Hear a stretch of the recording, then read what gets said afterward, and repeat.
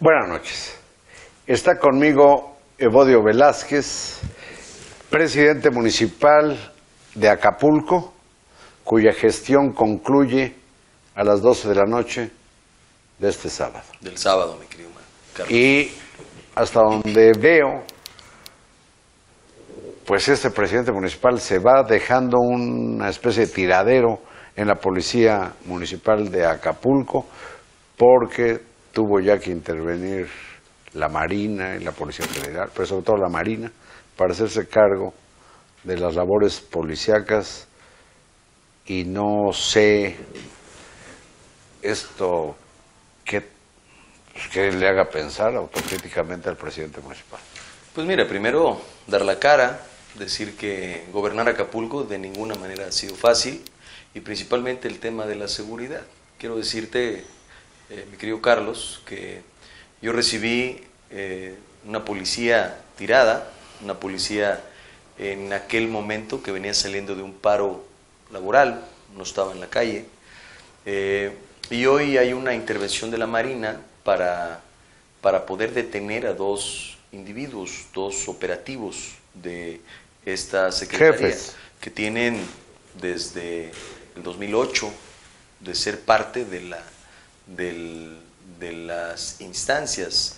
Eh, una, una orden de aprehensión y se ejecutó y la Marina fue a ejecutarla.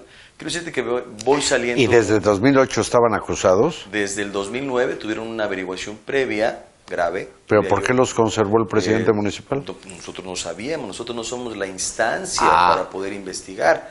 Nosotros somos ni para poder ejecutar órdenes de aprehensión si hubiese. Nosotros eh, recibimos a 1.500 efectivos en la Secretaría de Seguridad Pública y resulta que una orden de aprehensión de una ejecución en base a una averiguación previa del 2009 a la fecha. Entonces, pues más y bien- esa la desconocía Evodio por Velázquez. supuesto. Quiero decirte, más bien iría al grano. La policía que hoy yo entrego, entrego el 85% de la policía municipal, de 1.300 policías, eh, el 85% está acreditado, Carlos. Eh, Dicen que van a revisar a todos. que revisen lo que quieran. Sería contradictorio que hoy eh, se diga que no están acreditados cuando pasaron sus controles de confianza y sus exámenes del Estado y la Federación.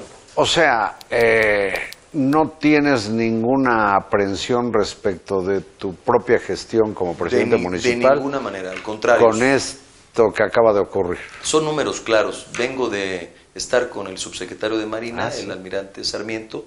En este momento voy llegando contigo, estuve con ellos y aclarado completamente. Fue una detención a dos personas que tenían orden de aprehensión, fueron con la fiscalía y se aprovechó en un protocolo que se hace cuando interviene la Marina o el Ejército para revisar todo el armamento, que es lo que están haciendo, pero ha sido un show muy mediático eh, de intervención y que nosotros hemos hemos estado apoyando y coordinados en todo momento con las instancias federales y estatales. Quiero decirte algo, mi querido Carlos, y, compartirlo con el auditorio. Acapulco tiene hoy en día, de mi gestión, en mi gestión, hoy un grupo de coordinación Acapulco, un grupo de coordinación local, que la estrategia de seguridad en Acapulco la dirige el ejército. Nosotros somos coadyuvantes y operamos. El trabajo del alcalde es el trabajo de prevención. Y te quiero compartir datos duros. 85% de policías acreditados.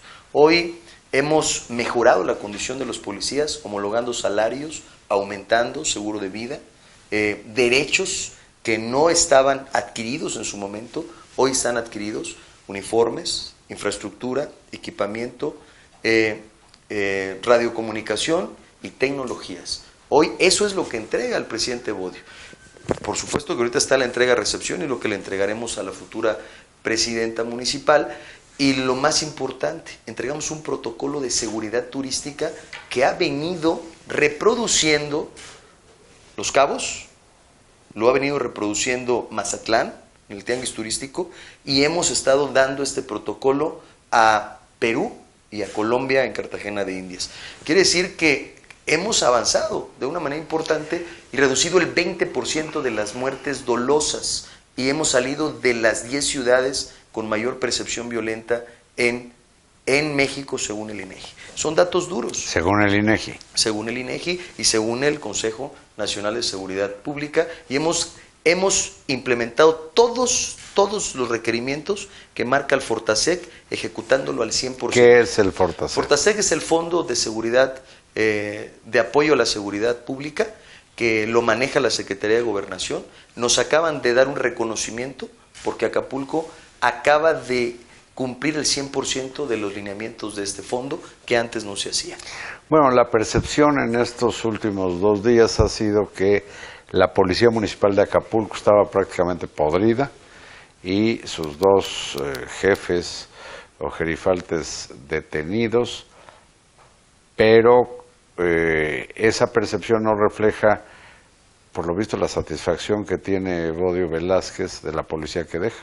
Pues mira, yo creo que no puedes meter a las manos. ¿No, no, supiste nunca durante tu gestión que, tus policías estuvieran eh, asociados con malandros? Mira, en un inicio, por supuesto que tomar las riendas de la seguridad de Acapulco fue muy complicado y nosotros solicitamos al Grupo de Coordinación Guerrero y a la Secretaría de Gobernación, en aquel tiempo el secretario Osorio Chón, que pudiéramos poner un mando y pusieron un mando policiaco. El mando que hoy está en la policía de Acapulco es un marino retirado, puesto por la Marina y avalado por el secretario de Gobernación. Él, y él es uno de los que tienen problema legal, ¿no? De ninguna manera. Acabo, acabamos en este momento de tomar llamada con él, porque la Marina lo recomendó, y está en este momento vigilante de la supervisión del armamento.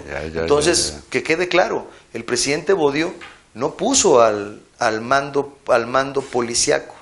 Que dicho sea de paso, no tiene en este momento ningún problema legal. No tiene ningún problema.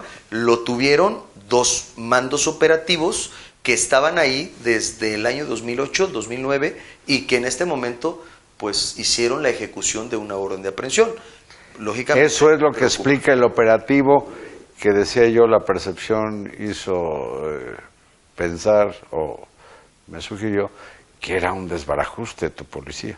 Bueno, eh, yo creo que lo que debemos hacer es entender que hoy México necesita cambios radicales en las policías municipales.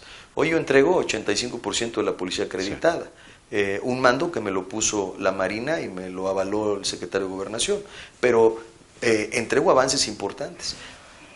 Bajar los índices de inseguridad y violencia en una ciudad tan complicada como, como Acapulco, que ha venido siendo golpeada fuertemente por la percepción a nivel mundial, ha sido complicado, porque hemos tenido que hacer un protocolo de seguridad que ha generado confianza. Te quiero dar datos.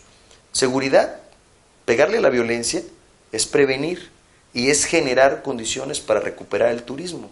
Hace tres años que tuve la... Pero pegarle a la violencia, dice eh, gente alrededor y el propio presidente electo, es algo así como alborotar el avispero.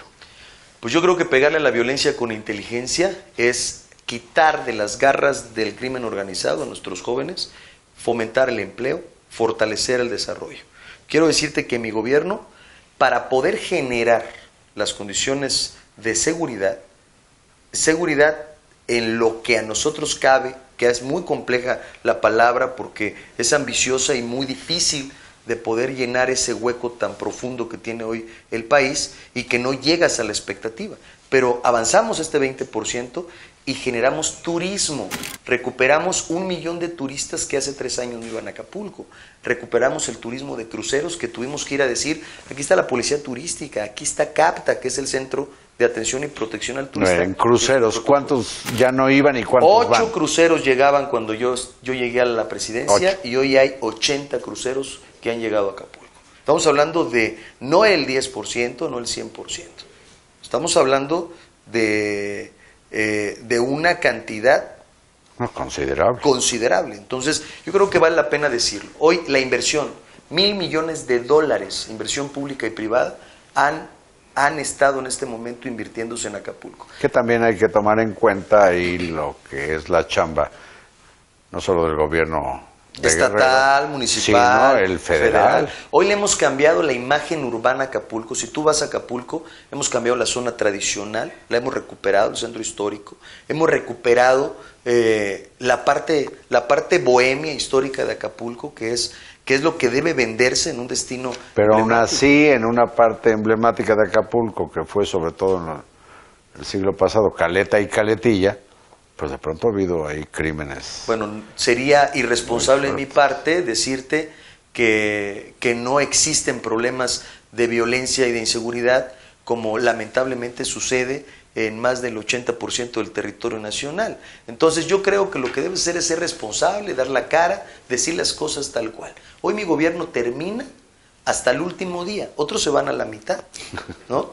El, pasa, el, el presidente anterior, Luis Walton, que se ha dedicado a, a difamar este gobierno, cuando yo le ayudé a ser alcalde, eh, pues se ha dedicado a no ayudar a que le vaya bien a Acapulco, déjate del gobierno.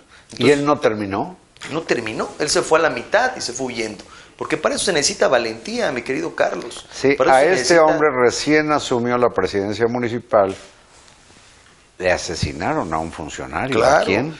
Me asesinaron al director de recursos humanos porque, porque le puse orden al tema. Ahora, te quiero decir algo muy, muy, muy, muy importante. Nos queda un minuto. En un minuto, la paz social en Acapulco, después de un, de un momento álgido de Ayotzinapa cuando yo llegué, que hoy estamos, estamos recordando este Sí. momento, eh, quiero decirte que en ese momento álgido generamos gobernabilidad. Tres años sin tener un movimiento social que afecte la tranquilidad de los acapulqueños. Ni de los visitantes. Atendimos maestros, atendimos estudiantes, atendimos el campo, como nunca el doble de campesinos atendimos, dimos fertilizantes gratuitos y generamos empleo. Y te puedo decir muchas otras cosas A mí más. me da gusto que este hombre habla sosteniendo la mirada, no es eh, de esos torvos ladinones que hablan como escondiendo pecados inconfesables. Evodio Velázquez, te agradezco esta conversación.